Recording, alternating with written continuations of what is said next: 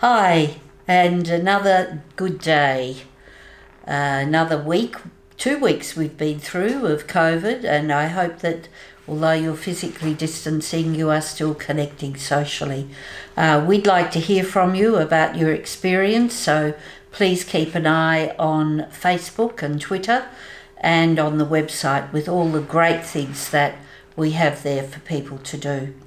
What I wanted to just mention today is about the Royal Commission. Uh, we have been doing some work, as you know, on responding to the Royal Commission, and at the moment we're looking at the implementation, and the major piece we're looking at at the moment is what's called a collaborative centre, which is going to have a major consumer voice and we are talking with the implementation team uh, about what that might look like and how it might be put out to tender because we understand it will be.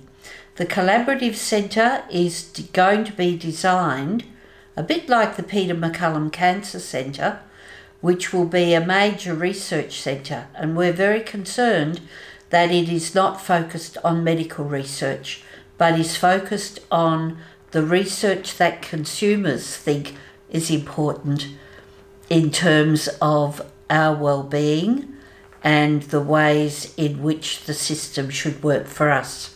We're going to put a questionnaire up in the next couple of weeks and run a focus group about this uh, very soon online. So if you're the least bit interested, please let us know. It's a very exciting prospect. Uh, it's going to have uh, research, clinicians, uh, consumers, people with lived experience, uh, carers, all involved in a multidisciplinary way. And so uh, we need to think a lot about how this might work effectively from our perspective, and we'd welcome your input. So have a think about that.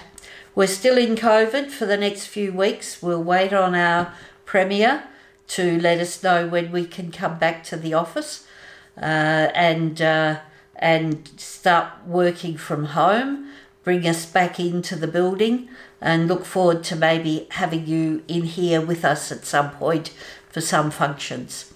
So take care, keep your distance, maintain your connection. Bye.